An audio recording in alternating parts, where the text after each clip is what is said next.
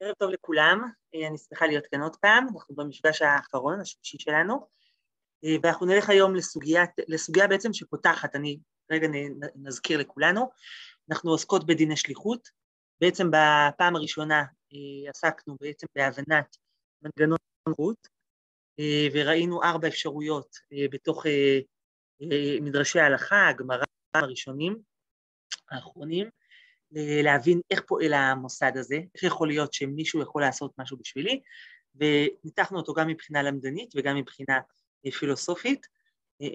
זו הייתה הפעם הראשונה שדיברנו. הפעם השנייה דיברנו על שליחות במצוות. אמרתי שהסוגיה עצמה בעצם לא מדברת על שליחות במצוות, אלא על שליחות בחלויות, כן? שמישהו נותן גט או מקדש אישה או, או שוחט בשבילי או מפריש תרומות ומעשרות מהפירות שלי, אבל האם מישהו יכול להתפלל בשבילי, יכול ליטול לולב בשבילי, יכול... וזה בעצם, ראינו כאן גם כן ארבע אפשרויות בתוך, ה, בתוך הדיונים בראשונים ובאחרונים, כשזה פתח לנו גם שאלות על מוסד השליחות, איך זה עובד, כן, תמיד אנחנו גם נראה את זה היום, השאלה מה היקף הדין, זה גם נותן לנו לעזור לנו לדייק מהו הדין, אז איפה אני יכולה להשתמש בשליחות, זה גם סיפור, זה אזור טוב להבין שוב מחדש מה זה שליחות, אז במובן הזה שיעור שעבר היה, היה יישום, כן, או ביטוי לארבעת התפיסות של השליחות שדיברנו עליהן בפעם הראשונה, ו, ו, ומתוך זה גם ניסינו להעיר קצת מה, מה זה מצוות בכלל. כן, אם מישהו יכול לעשות בשבילי מצווה, אז מה זה אומר על מצווה? אם מישהו יכול לעשות בשבילי רק מצוות כאלה, אז מה זה אומר על מצווה וכן הלאה. אז אנחנו רוצות היום ללכת ל... התלבטתי לאיפה, לאיפה לנסוע, אז אנחנו נלך לסוגיה שהיא תבחן את הדברים מנקודת מבט, אני חושבת חדשה, ואני מזכירה שבעצם המטרה שלי בשיעורים האלה זה, זה שני דברים. הראשון זה לקנות uh, את uh, תחום הדעת הזה של מוסד השליחות, שכמובן הוא ארוך ורחב יותר ממה שאנחנו uh, מספיקות בזמן הקצר שיש לנו, אבל כן לאחוז את היסודות, אני חושבת שכן אנחנו מצליחות. והדבר השני זה לנסות לתת כלים לאיך לומדים גמרא עיון. כן, איזה סוג של שאלות שואלים, איזה סוג של עין, מבט מתבונן צריכה להיות. והיום אמרתי פעם שעברה שאני רוצה לחזור לעשות את זה בתוך טקסט של גמרא.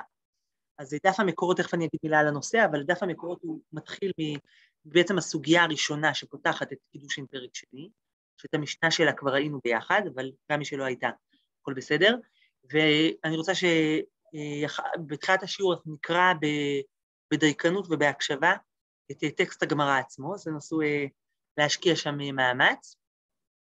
ואחר כך נעבור גם לעולם הראשונים והאחרונים. אני אומרת, הדף מקורות יותר רחב ממה שאתם תספיקו בסדר. זה בסדר גמור, לא להיות מתוסכלות, על דעת זה הכנתי אותו ככה, מה שנספיק בשיעור נספיק, מה שלא, בעזרת השם, מי שתרצה תעשה את זה אחר כך. הנושא שאני רוצה שנעסוק בו היום, זה העיקרון מצווה בו יותר מבשלוחו.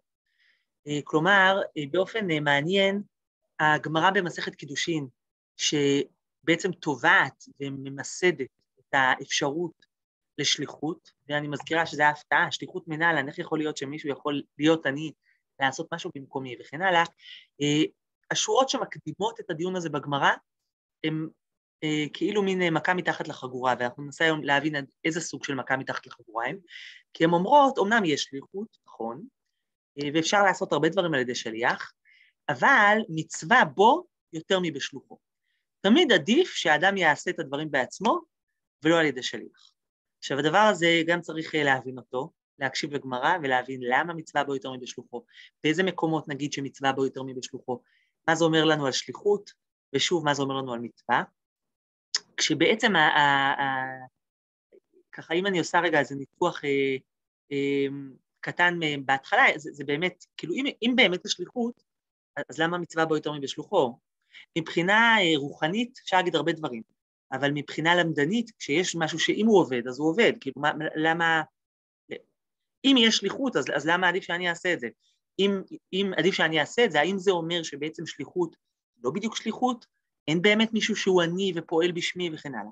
בסדר, אז אנחנו ננסה לעיין בשאלות האלה, וכאמור גם דרכם, שוב לשאול את השאלות העמוקות שהנושא הזה, אני חושבת, מעלה. מה זה שליחות? איך יכול להיות שמישהו פועל בשמי בעולם? מי זה אני? כן, מה גבולות הגזרה שלי? וגם מה שפתחנו בשיעור הקודם, מה זה מצוות, ולמה יותר טוב שאני אעשה משהו מאשר מישהו אחר, מה זה מספר על הסיפור שקוראים לו מצוות, ואולי מעשים בכלל בעולם, כן, רק בהקשר דתי. מה זה מעשים בעולם שעדיף שאני אעשה ולא מישהו אחר לכאורה, מה אכפת לי מבשל הילדים שלי. האם יש איזושהי משמעות, כן, לשאלה מי עושה את המעשה, ואם כן, אז למה.